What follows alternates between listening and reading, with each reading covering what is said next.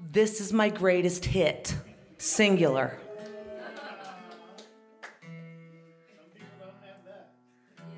I'm lucky. I'm very lucky. You know, when I, um, we were talking, Mike and I were talking a little bit earlier about how this song, uh, this song is called Wide Open Spaces, and it's a song that the Dixie Chicks put on their first national release. They had other albums out as kind of a different incarnation, but um, this was their first one that was on on Sony, and uh, uh, a, a, friend of Texas, Lloyd Maines, uh, who's a great producer here and an instrumentalist. He plays everything, and um, he was producing uh, al- an album for a band that I was in called the Groobees. And uh, this was one of the demos that we sent him to see if he wanted to come and produce our band. And his daughter at the time, Natalie, his daughter Natalie at the time, she's her, he, she, you know, that was wrong. His daughter Natalie um, had just dropped out of school to start singing with the, the other two chicks, Emily and Martie. And um, so this was a perfect storm of this the song, a good song hitting a great band at the exact right moment. And I've since learned then, you know, they they started performing this song, and so then when Sony uh, started kind of grooming them for their label, this was a song that they took with them, and they had already been playing it live, and they had a rapport with it, and they had, you know, they had a fan base that already supported the song, and um, and that's the way I thought it always worked. and it just doesn't work like that all the time. I've learned since then. Um, but this has been, you know, I, I said it to Mike, uh, this was the cornerstone of my career back before I had a career, and it was just a hobby and a good excuse to not go to chemistry class in the morning. I was going to school in Missoula, Montana. I was visiting my folks for my first Christmas home. I believe um, because I had a meal plan, I thought I knew everything. And uh, so when my parents said, you know, what would you do last night, honey? You didn't get home till four in the morning. And I said, oh, how dare you? I'm an adult. and uh, so I furiously scribbled these lyrics in a notebook, went back up to school, totally forgot about it because I wasn't really writing songs really at that time. It was, I'd maybe written a dozen.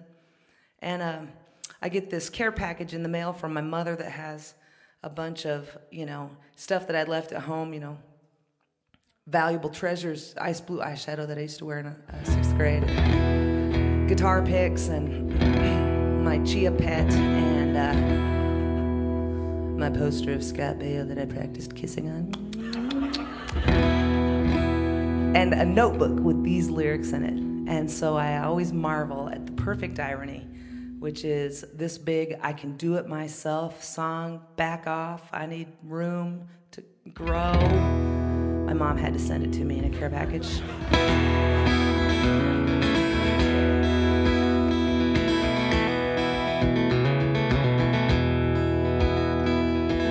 Now my mom doesn't ever throw away anything with my handwriting on it. She'll be like, Susan, I found this note that says, Your eye doctor called. Call back after four. I thought it might have been a lyric or something. Who doesn't know what I'm talking about? Who's never left home? Who's never struck out to find a dream and a life of their own? Place in the clouds, a foundation of stone. Many precede and many will follow. A young girl's dream no longer hollow. It takes the shape of a place out west. What it holds for her, she hasn't yet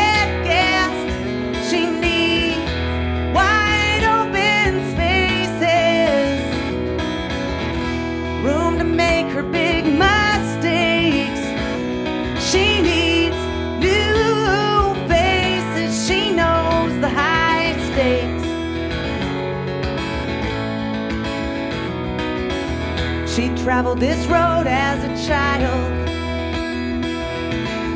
Wide eyed and grinning, she never tired. But now she won't be coming back with the rest. If these are life's lessons, she'll take this test.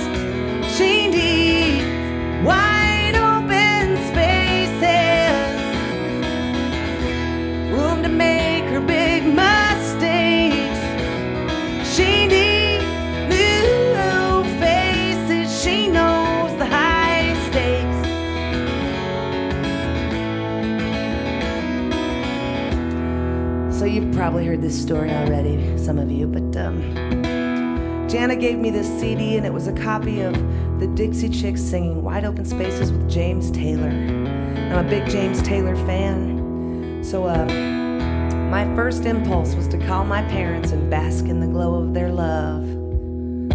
So I called home. I said, Dad, you'll never get. My dad answers the phone. So, Dad, you'll never guess what I'm listening to right now. He said, What's that, Susan? Said, I'm listening to the Dixie Chicks sing Wide Open Spaces with James Taylor. There's awkward silence on the other end of the phone. And that's when I realized my dad has no idea who James Taylor is. I said, Come on, Dad, you don't know who James Taylor is? He said, I know who James Taylor is. He's that football player. Oh, I was devastated to have to disappoint my father and to say, No, Dad, James Taylor's not a football player. He said, Well, not anymore, Susan. Of course not. He's been retired for years. I said, I love you, Dad. Will you have mom call me when she gets back? But as she packs her things, she feels she left something out. Her friends, her family, her dog in this house. She turns around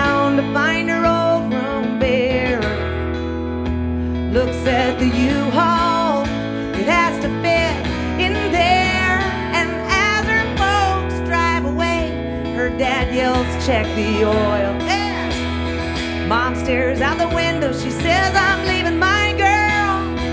She said it did not seem like that long ago when she stood there and watched her own folks